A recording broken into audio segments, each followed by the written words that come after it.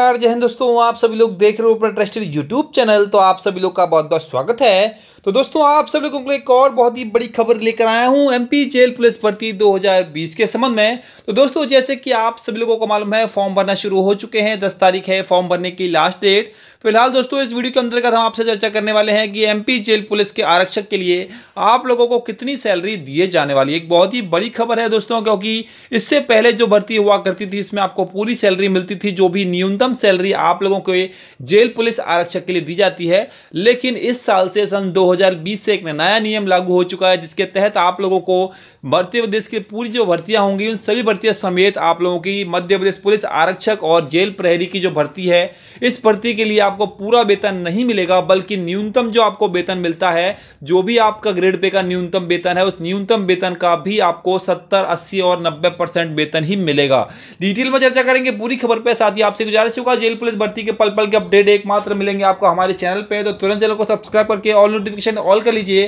ताकि आपको अगले आने वाले अपडेट सबसे पहले प्राप्त हो सकें। तो दोस्तों, मैं आपको लेके आ चुका हूँ जेल प्रहरी 2020 के ऑफिशियल नोटिफिकेशन पे, जहाँ पे आप लोग पॉइंट नंबर 1.3 में वेतन, मान, पद और शैक्षणिक योग्यता का कॉलम है, उसमें सारी जानकारी देख पाएँगे। जैसे कि आप देख पा रहे होंगे, सीधी भर्ती के पदों पर प्रवर्गवार जो विवरण दे रखा है, उसमें one point three point one में बोल रखा है, पद का नाम प्रहरी कार्यपालक आप लोगों का ये पद है। इसमें आप लोगों का जो वेतनमान आपको दिया जाता है, वो बावन से लेकर बीस दो की आपको साथ में उन्नीस सौ का ग्रेड पे दिया जाता है। ये आप लोगों का जो वेतनमान है दोस्तों, इसके बाद में आपको आगे बता दूँ, सातवां वेतनमान आपका लगेगा उन्नीस पाँच सौ से लेकर बासठ हज़ार का। इसके अंतर्गत आप लोगों का जो दिसंबर 2019 में एक आदेश पारित किया गया था सरकार की ओर से उस आदेश में ये बोला गया था कि आप लोगों की जो सरकारी नौकरी जब आने वाले समय में लगेंगी, यानी कि इस आदेश के बाद जो सरकारी नौकरियाँ होंगी, उसमें आपको प्रथम वर्ष सत्तर प्रतिशत मिलेगा, द्वितीय वर्ष आप लोगों को अस्सी प्रतिशत मिलेगा, और तृतीय वर्ष आप लोगों को नब्बे प्रतिशत आप लोगों को जो पेमेंट होगा वो दिया जाएगा। यहाँ पर दोस्तों आप लोगों को समझाने के लिए मैं आपको थोड़ा एग्ज़ाम्पल के तौर पर ले लेता हूँ। मान लीजिए कि जेल प्रहरी का जो न्यूनतम वेतन होता है, वो न्यूनतम वेतन मान लीजिए कि अगर बीस हज़ार रुपये है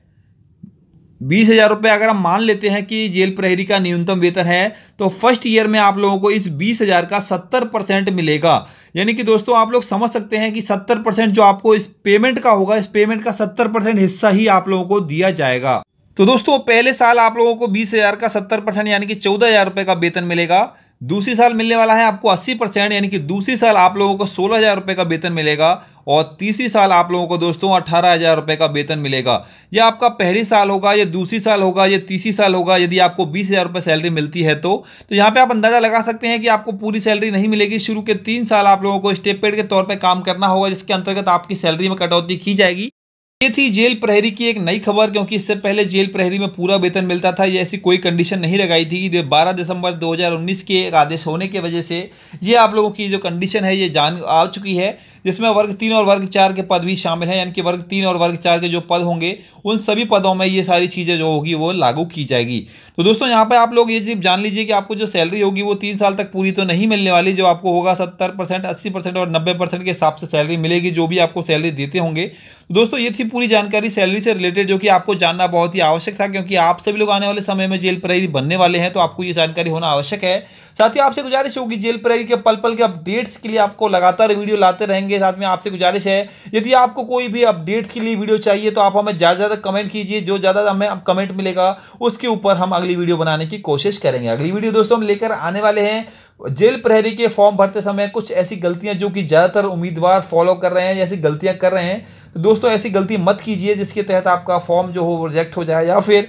आप लोगों का फॉर्म, आप लोगों को आगे जाके प्रॉब्लम क्रिएट करे। तो उसके ऊपर वीडियो बन रही है, हमारी टीम लगातार लगी हुई है। दोस्तों, सबर कीजिए, चैनल से जुड़ जाइए, चैनल को सब्सक्राइब करके ऑल नोटिफिकेशन ऑल कर लीजिए, ताकि अगली वीडियो में आपको सारी डिटेल्स क्लियर हो सकें।